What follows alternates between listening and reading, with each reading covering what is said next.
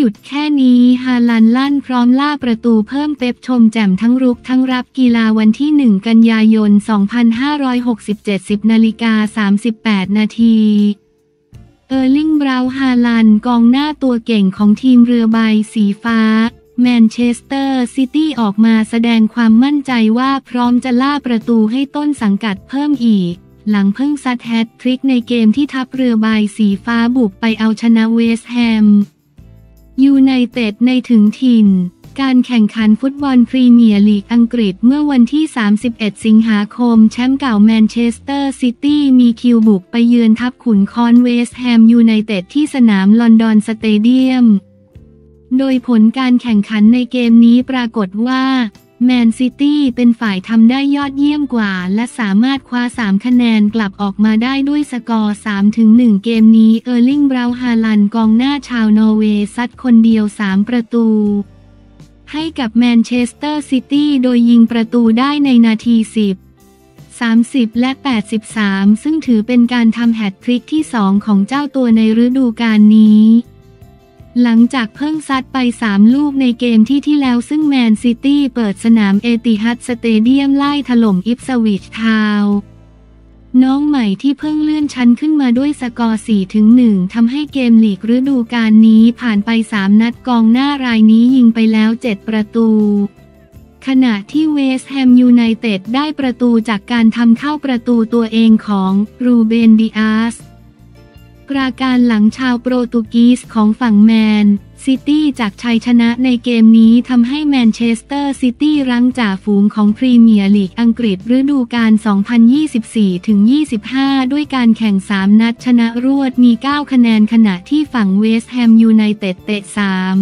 3 นัดมี 3 คะแนนอยู่อันดับที่ 14 ของตารางคะแนน หลังจบการแข่งขันเออร์ลิง ฮาลันด์ให้สัมภาษณ์ด้วยความมั่นใจว่าเขาพร้อมที่จะไล่ล่าการทำประตูมากกว่านี้ หลังจากที่ได้พักมาเต็มอิ่มในช่วงวันหยุดโดยกล่าว ว่า ผมรู้สึกดี ผมรู้สึกมีพลังงาน ผมมีช่วงวันหยุดที่ยาวนาน และมีช่วงพรีซีซั่นตอนนี้ ผมพร้อมแล้วที่จะทำประตูเพิ่มอีก ทางด้านเป๊ป กวาร์ดิโอลา ผู้จัดการทีมแมนเชสเตอร์ซิตี้ ออกมาชื่นชมกองหน้าทีมชาตินอร์เวย์รายนี้ ว่าไม่มีคำอธิบายสำหรับเขาสิ่งที่เราสามารถทำได้ คือการทำให้เขาเล่นให้ดีขึ้นและดีขึ้นไปอีก และให้บอลกับเขาในกรอบเขตโทษให้มากที่สุดเท่าที่จะเป็นไปได้ นั่นคือสิ่งที่เราจำเป็นต้องทำเขาทำสามประตูในวันนี้ แต่นอกจากนั้นเขายังไม่เสียบอลแม้แต่ลูกเดียวด้วย วันนี้คือหนึ่งในเกมที่เขาเล่นได้ยอดเยี่ยมที่สุดในทุกสถานการณ์ เมื่อคุณได้ดูการแข่งขันและเห็นในสิ่งที่คุณต้องการจะทำ เขาเข้าใจมันได้ดี เพราะเขาเป็นคนที่ฉลาด พลังงานของเขา ภาษากายของเขามันโดดเด่นมากๆ สำหรับฮาลันด์กำลังขยับเข้าใกล้การยิงให้ครบ 100 ประตูในเกมลีกให้กับแมนเชสเตอร์ซิตี้มากขึ้นเรื่อยๆ โดยหลังจาก 3 ประตูที่เกิดขึ้นในเกมกับเวสต์แฮมยูไนเต็ดทำให้ฮาลันด์ซัดไปแล้ว 70 ประตูจากการลงเล่น 69 นัดให้กับทีมแชมป์เก่าของพรีเมียร์ลีกและยังถือเป็นแฮตทริกที่ 11 ของเขากับสโมสรแห่งนี้อีกด้วย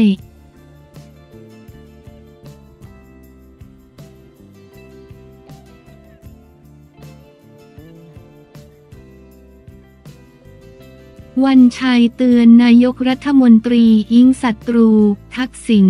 เตรียมถล่มและเร่งทำผลงานเอาชนะหมู่มารการเมืองวันที่ 1 กันยายน 2567 10นาฬิกา3นาทีอดีตสว วันชัยเตือนนายกรัฐมนตรียิงศัตรูเก่าใหม่ของ ทักษิณ เตรียมถล่มและเร่งสร้างผลงานเอาชนะหมู่มารชนะใจ ประชาชนอย่าคิดเรื่องคอร์รัปชันเมื่อวันที่ 1 กันยายน 2567 นายวันชัย สอนสิริอดีตสวโพสต์เฟซบุ๊กเรื่อง ผลงานของนายกอุ้งอิงเท่านั้นที่จะชนะศัตรูหมู่มารได้ ระบุข้อความว่าศัตรูเก่าศัตรูใหม่ของคุณทักษิณพ่อของนายกอุงอิง เขาเตรียมถล่มกันทุกเม็ดทุกดอก ท้าโถมเข้าใส่ทั้งคุณทักษิณและคุณอุ้งอิง ยิ่งคนที่ไม่ได้เป็นรัฐบาลยิ่งจะหาเรื่องจัดหนักจัดเต็ม นายกอุ้งอิงเตรียมตั้งหลักที่จะรับสารพัดเรื่องได้ตั้งแต่บัดนี้เป็นต้นไป เพราะดูแต่ละคนแต่ละพวกแล้ว ต้องการที่จะเล่นงานคุณทักษิณและนายกอุ้งอิงให้คว่ำขมำลงไปให้ได้ จะไปห้ามคนพวกนี้ก็คงจะไม่ได้มันฝังรากลึกกันเสียแล้วนับแต่นี้รัฐบาลนายกอุ้งอิงอย่าไปมัวเสียเวลากับคนพวกนี้ และเลิกคิดเรื่องการโกงกินทุจริตคอร์รัปชันการเล่นพักเล่นพวกการก่อกรรมทำชั่วต่างๆ มุ่งหน้าเอาแต่งานเพื่อผลงานให้โดนใจประชาชน แก้ปัญหาเศรษฐกิจเรื่องปากเรื่องท้องเงินทองคล่องมือต้องรีบเร่งทำให้ได้ ไม่ใช่ได้แต่บอกว่ารู้ปัญหารู้ปัญหา แต่การแก้ไขที่ได้ผลยังไม่มีเลย หมดเวลาเต้นไปเต้นมาหมดเวลาแก้ตัวต้องรีบเดินหน้าแก้ปัญหาอย่างเดียว นายกอุงอิงไม่ทำตอนนี้จะทำตอนไหน ไม่ต้องไปวิตกกับพวกร้องเรียนเหล่านั้น ชาวบ้านเขาไม่สนหรอกเขารออยู่ แต่ว่าจะแก้ปัญหาให้เขาได้เมื่อไหร่ ถ้าแก้ให้เขาได้มันก็จะเป็นเกราะป้องกันให้กับนายกอุงอิงได้เป็นอย่างดี ต้องทำให้ชาวบ้านพอใจจนพวกร้องเรียนกระอักเลือดตาย ที่คุณเศรษฐาคว่ำขมำไปนั้นก็เพราะมัวแต่รำมวยไม่มีผลงานที่จะให้ชาวบ้านจดจำและเมื่อไปแล้วชาวบ้านเขาจึงรู้สึกเฉยเฉยไม่ห่วงหาอะไรไปเสียได้ก็ดี จึงเป็นบทเรียนของนายกอุ้งอิงอยู่ต้องให้ได้ใจจากไปก็ต้องให้เขาคิดถึงใครจะนินทาว่ากล่าวใส่ร้ายป้ายสีกี่เรื่องกี่ประเด็นก็ช่างหัวมัน เอาผลงานเข้าสู้เอาประชาชนเป็นประกันแค่นี้ก็ไปตลอดรอดฝั่งศัตรูหมู่มารก็ย่อยยับไปเองก็แตกกันหลายพักแล้วนี้ นายวันชัยระบุ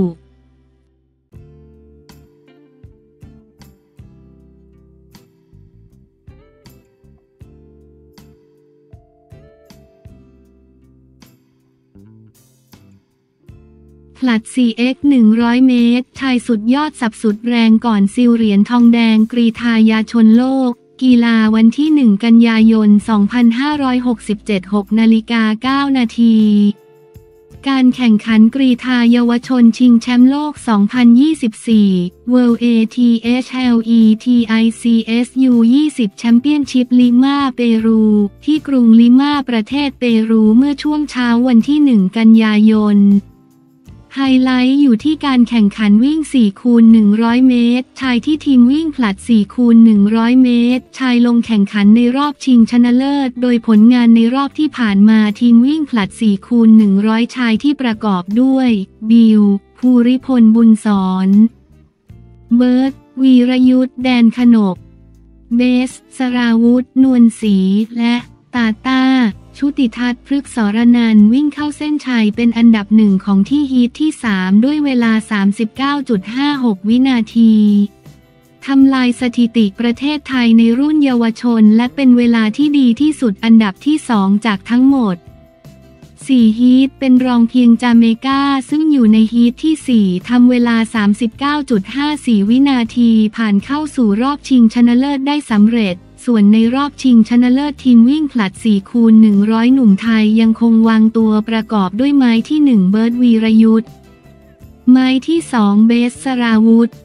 ไม้ที่ 3 ตาต้าชุติทัศน์และไม้ที่ 4 บิวภูริพลยังคงทำผลงานได้อย่างยอดเยี่ยมเช่นเดิม โดยช่วยกันวิ่งกันอย่างสุดความสามารถ โดยในไม้สุดท้ายเจ้าบิวที่สับเท้าก่อนแซงคู่แข่งเข้ามาเป็นอันดับ 3 ความเหรียญทองแดงมาครองได้สำเร็จด้วยเวลา 39.39 วินาที และเป็นการทำลายสถิติประเทศไทยของพวกเขาทำได้ในรอบก่อนลงอีกครั้งอีกด้วย ขณะที่อันดับหนึ่งเป็นของทีมวิ่งผลัดจาไมกาเวลา 39.18 วินาทีและอันดับสองเป็นของสหราชอาณาจักรด้วยเวลา 39.21 วินาที